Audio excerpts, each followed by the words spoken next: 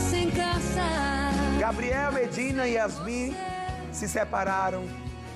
A informação foi dada pelo colunista Léo Dias e as assessorias da modelo e do surfista confirmaram a separação. Gabriel e Yasmin estavam juntinhos há dois anos, tão polêmicos. Eles começaram a namorar em 2020 e casaram no mesmo ano.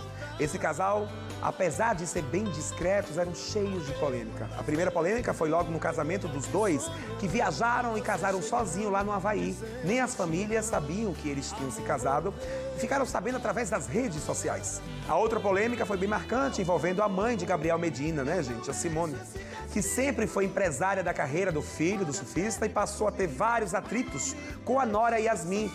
E a outra nora, a esposa e, o outro filho também dela. Foi uma confusão, casos de família. Simone chegou aí a expulsar Yasmin de casa e, e também né, não quis mais ser a empresária do filho.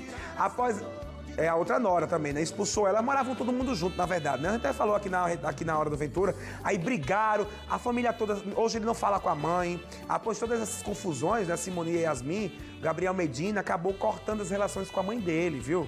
Mãe e filho seguem sem se falar e sem se seguir nas redes sociais até hoje. Enquanto Gabriel Medina e Yasmin aí, né, vão seguir separadinhos. Nem o surfista, nem a modelo se pronunciaram ainda sobre a separação. Essa história ainda vai render muito! Mas o infeliz do teu cheiro tá entranhado em mim. Oh, é babado.